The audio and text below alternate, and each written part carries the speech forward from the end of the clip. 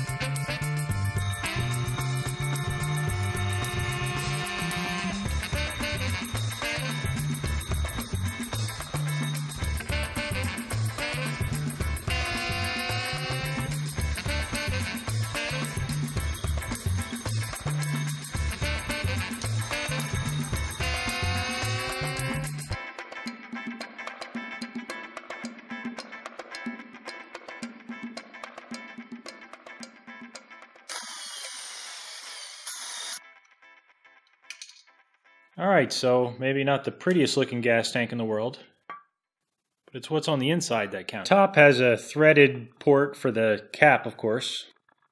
It's an oil cap, but it's vented, so it should do the trick.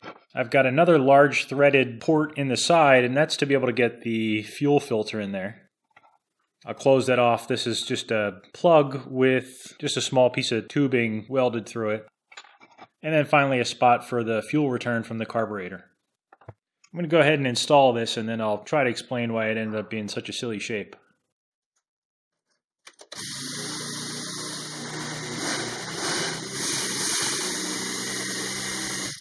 All told, I think it could have come out worse. The problem with the tank was I started off with a limited amount of material. Like that piece of diamond plate that I think you saw me start to mark up and bend was the last piece that I had. I knew I wanted to make a low spot on one side of the tank just so the fuel filter was always at the lowest point. And I think I got a little overzealous there. I planned to bend it up. Once it was bent and I had the low spot, I wanted to cut it all off square. And then I realized the material was small and my tank would have gotten really tiny. So long story short, funny gas tank. But the cart is basically finished. I mean, I've got maybe a guard to do in the back, a couple little odds and ends, but for now, I think me and Evel Knievel are going to go out and give it a try.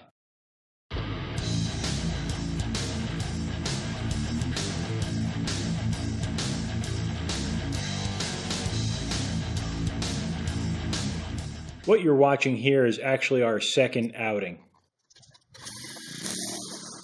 Our first test drive was a little short lived. I mean, it was probably 40 minutes. I couldn't get him off of the cart, but I had to cut it short. I noticed my crooked front tire needed to be sorted out. It didn't look that bad on the bench. And I noticed the engine wouldn't always drop down to idle speed, or wouldn't drop quickly. So I added an additional return spring to the carburetor. I suppose there is a lot of cable for that little carburetor to take up. Then it was back to the races. Now I apologize for this footage filming a fast moving target was harder than I thought. And to be honest, most of my brain power was focused on getting Speed Racer here home in one piece. Here it's going about 75% full throttle. He wanted to go faster, but you know, baby steps. 50% throttle, I learned the last time, was just too slow.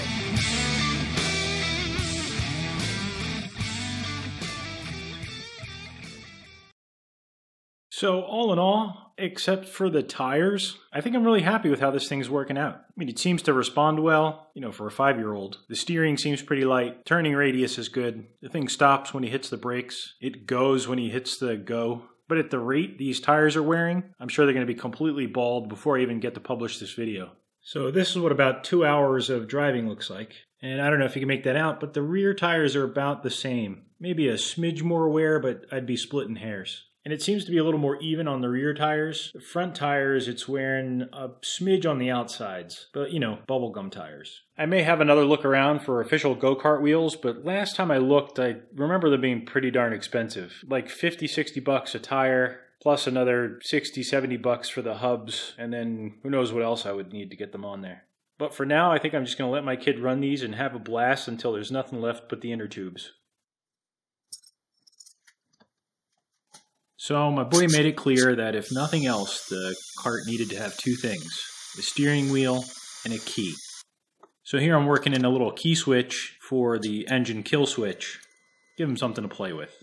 I may wire a second kill switch somewhere on the top at the back. Something with easier access for me. With that, I believe all of the key components are installed.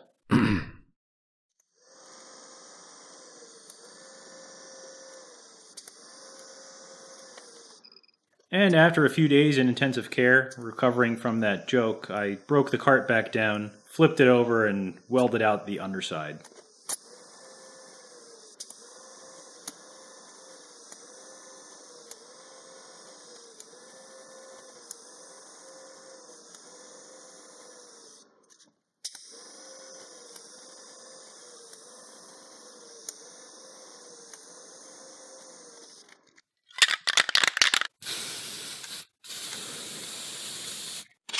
So while that stuff is drying, I've made a couple of small parts for the floorboards. Essentially a heel stop, go about there. Then a small shield or sidewall. This is right where the springs and the cables are, just to keep shoelaces and stuff from getting in there.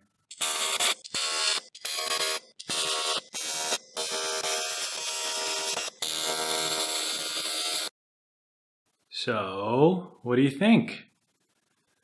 Yes, as a matter of fact, I do have a lot of yellow paint.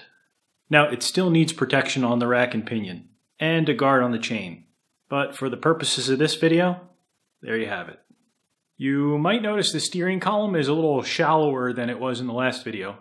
Once I had the steering wheel and both my kids sitting in it, I brought it in a little bit. I've also gotten the impression that the size of this thing might not be coming across well in these videos. Looks bigger on screen, perhaps. In reality, it's not much bigger than a silver dollar.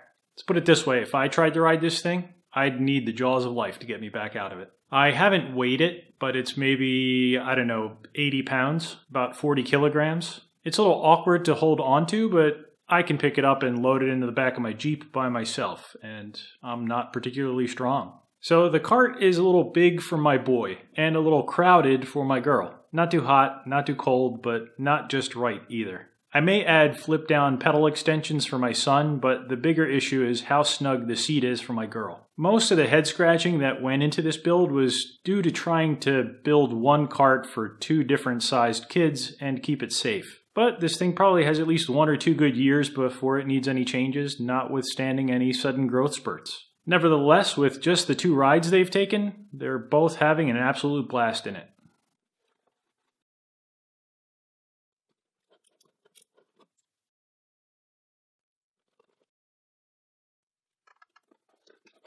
No offense to anyone else, of course. These are just the only stickers I happen to own.